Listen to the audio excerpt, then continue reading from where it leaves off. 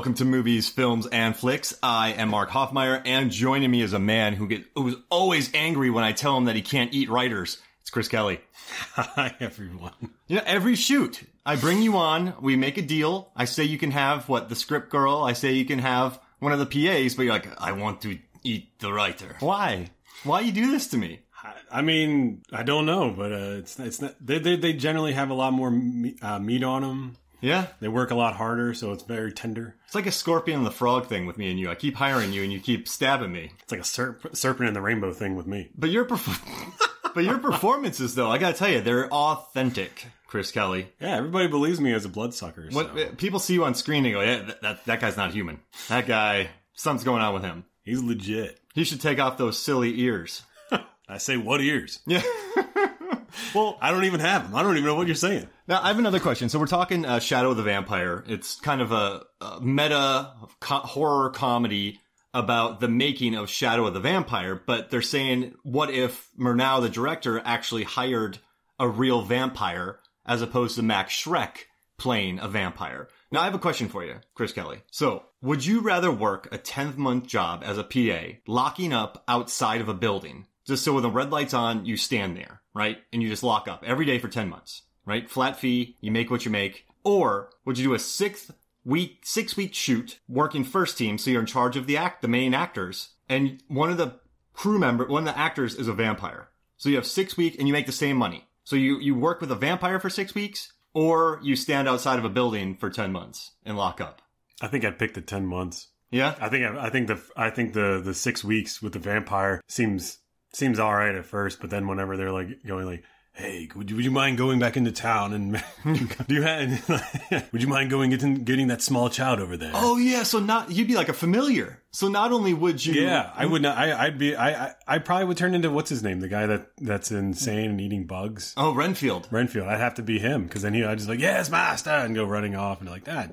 Dang it! Imagine what his trailer would look like. And it would be all nights too. It would have to be nights, and he'd have to black out his windows, You go into his trailer, you gotta clean up stuff. or he would have his trailer inside, and they would only do. um oh. They could only do stage work. Yeah. and then he'd have to stay there. Well, no, he wouldn't have. Well, to you could there. do all stage work now because of, you know, back in the day you couldn't because of the warehouses we shot in, but now with these really nice stages, Yeah, you have to you walk could. into doors to walk into them. They're completely, there's no sunlight. Yeah, I think it wouldn't be all that terrible. But I think going to get the errands to uh to get people for him to eat would probably be the worst part about it. But then again, I don't know. Think about Charlie Sheen, where he was always getting his prostitutes. Yeah. And Young Guns. And. Major League. Those stories are insane. Like, so that reminds me of Jay and Silent Bob, where they're like, wait, did Ben Affleck kill a prostitute again? Like, you'd have to, like, did the vampire kill another grip? Like, you'd What was that? go in there. Um, oh, what was that movie? Man, was it Man Bites Dog? Where it's Yeah. the, the, the, the documentary crew that's following around a serial killer, and then they start sympathizing with him and helping him out. And they're like, "We got to get rid of this body." Like that's kind of what it would turn into. Like, oh, Yeah. oh, what was that movie about the Berlin vampires? The Berlin Vampires. Do you remember that? Was it called Vampire? Das? das Did you see that movie? It's like where they got the idea for what we do in the shadows. Oh, no, I did not. Oh, I forget the name of the movie. It's so damn funny, and it's like they're like, you know, they're we wanted to make a documentary about the Berlin vampires, and they get opens up, and the guy's like, "Hey, come on into my house." The sound guy's like, "Oh, thank you very much." They slam the door, and then all of a sudden, this gush of blood hits the window. like six months later, we tried again, and then he's like, "Oh, welcome to my house. Come on in." The sound guy's like. Okay, cool. You seem really nice. Slam the door, blood flies. I was like, all right, six months later, we're going to try again. That sounds like a sound guy because I've worked with some sound guys that are gung ho. Just, they'll, Oh yeah, they'll do it. They're they're they're they're very dedicated. I mean, without sound, it's. I mean, literally without. With, It's Nosferatu. well, I mean, silent films. I mean, was you could go that argument all day with do films need sound and what was it? I forget the name of the producer who said um, nobody wants to listen to an actor talk.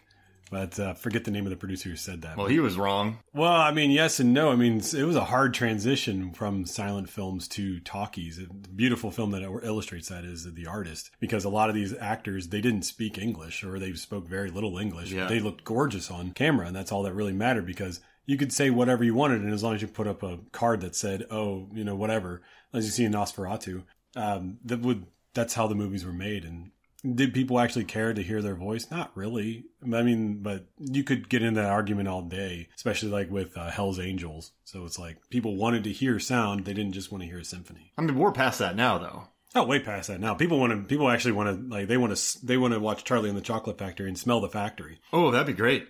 They made they did that at the Plaza. Was it the Plaza or was that? Just sniffing chocolate. No, I mean they had it pumped into the Oh, room. It's, I don't it's- trust that. What was it called? What are they? Was it called 4D or is that called? Yeah, 40. Yeah, that's like the smell and taste and That's that's punched. Don't go to Raging Bull. in 4D. saw Rocky three in 4D. Eight, 200 concussions. Jeez Louise.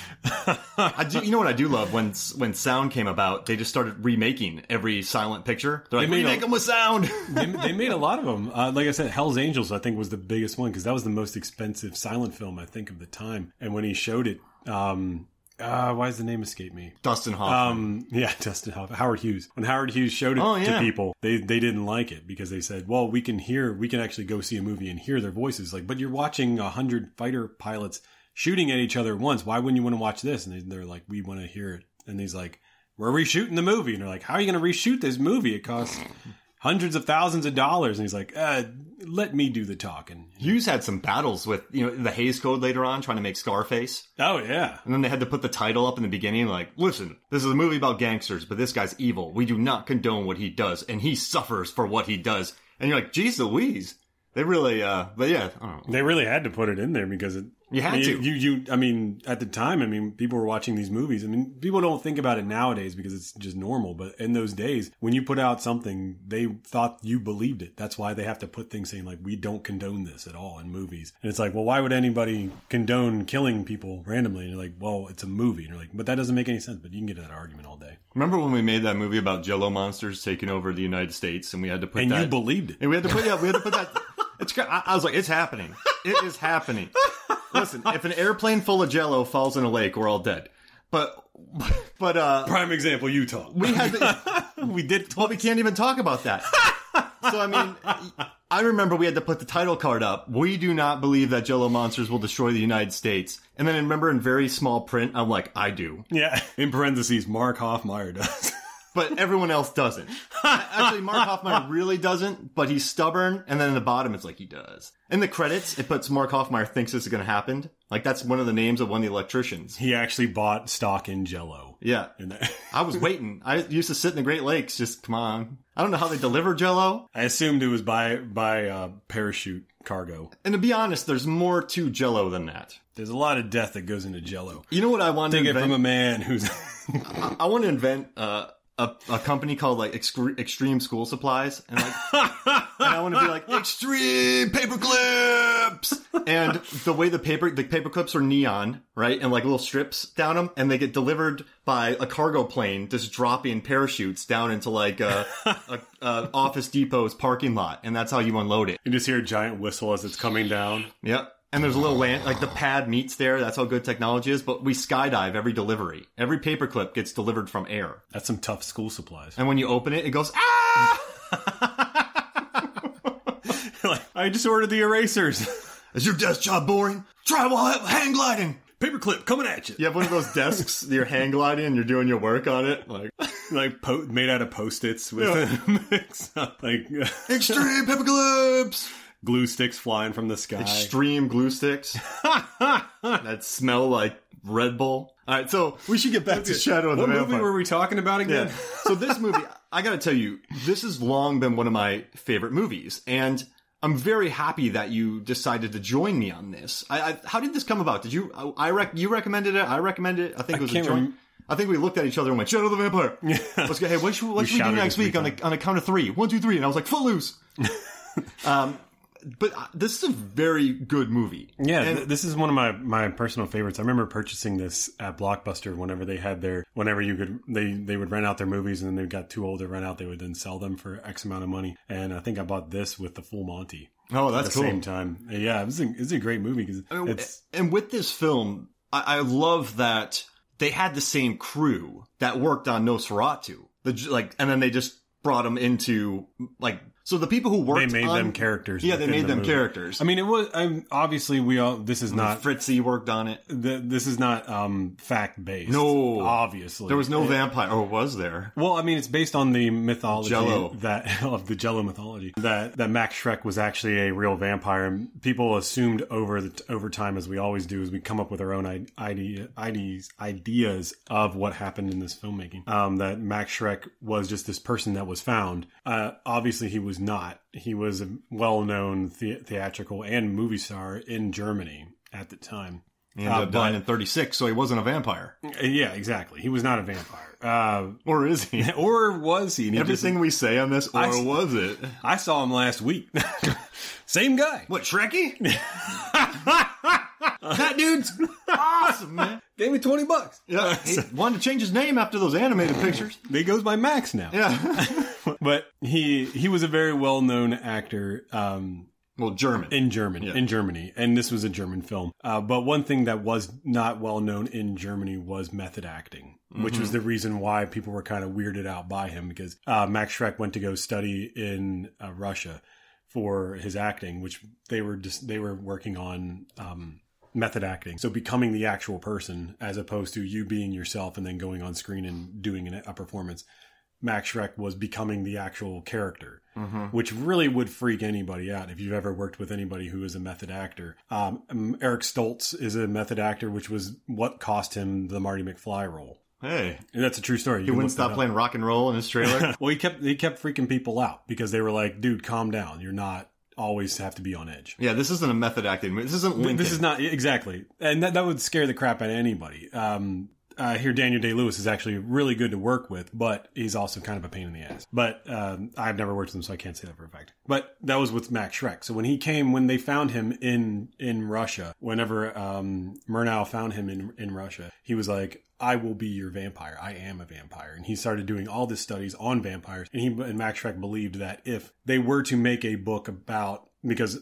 obviously movies weren't really that po- weren't as popular as they are now, but he believed that if uh, they did write a book on vampires like Dracula, if it became popular, he believed that if a real vampire existed, he would hate it or she would hate it. So he was that's why he has that line where he says, "Oh, that book Dracula. Oh, I loathe that book." Because he would probably hate the book. and he was lonely. Uh, I, I like why he didn't like the book because he said, "I don't like that Dracula in his ancestral home is pretending to be a human and serving a human with no servants." He's like, "It's very lonely and it depressed me."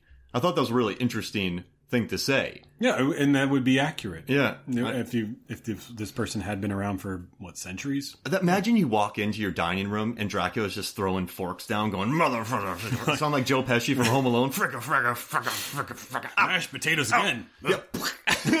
He's just taking everything and going. like it. roast beef, reza, reza, fricka. Just drink some blood, you rope sucker.